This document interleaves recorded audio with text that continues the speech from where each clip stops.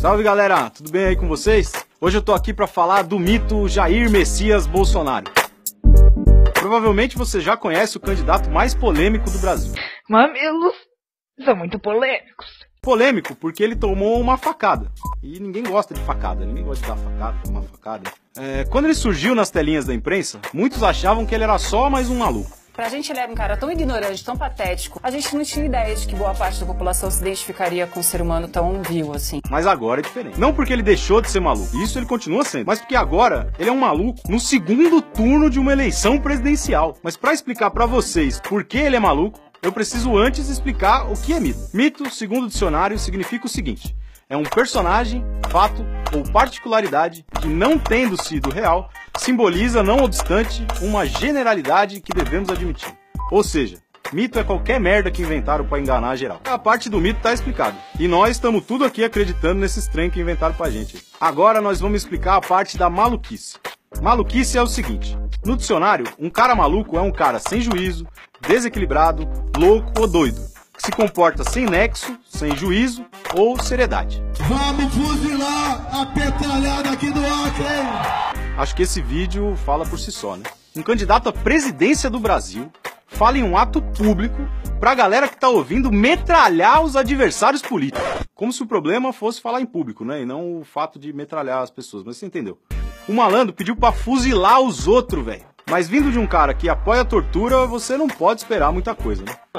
Sou favorável à tortura, tu sabe disso. Mas não para por aí, não. Bolsonaro é o que no dito popular as pessoas chamam de duas caras. Tá falando mal de mim, depois quer andar do meu lado. Se te uma dica, falciane Antes, ele era contra os negros. Se seu filho se apaixonasse por uma negra, você faria? Ô, Preta, eu não vou discutir promiscuidade com quem quer que seja. Agora parece que ele viu a merda que ele falou e tá falando por aí que nunca disse nada disso. Onde você tem um vídeo meu, um áudio atacando negros? Aí ele disse que não é homofóbico. Não sou homofóbico. Só que na verdade. E eu tenho imunidade para falar que sou homofóbico sim. Aconteceu o mesmo com relação às mulheres. Onde tem um áudio meu atacando mulheres? Não, vagabunda! A lista é grande, mas vale a gente lembrar de mais três coisinhas que são bem importantes para nós. Bolsonaro sempre disse que vai governar pro povo brasileiro, uma nação grande, de pessoas que trabalham e aquele blá blá blá todo que ele fala lá. Só que é o seguinte, esse doidão votou juntinho com o Temer em tudo quanto é coisa. E velho, não tem como dizer que o Temer tá preocupado com o povo. Se o Bolsonaro vota para aprovar tudo que o Temer propõe, então o Bolsonaro se preocupa com o povo tanto quanto o Temer. O único parlamentar que votou eh, nos dois turnos contra todos os direitos trabalhistas da empregada doméstica. Outra coisa é ele dizer que é defensor da família. Mas ele roubou um cofre da ex-mulher, velho, e ainda ameaçou ela de morte.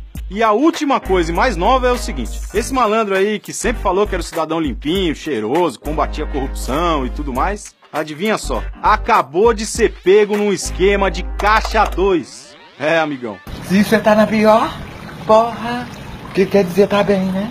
Empresas que por lei são proibidas de assumir qualquer gasto de campanha doaram ilegalmente mais de 12 milhões de reais pro Bolsonaro. Sabe o nome disso? Sabe. Caixa 2. Caixa 2. Corrupção.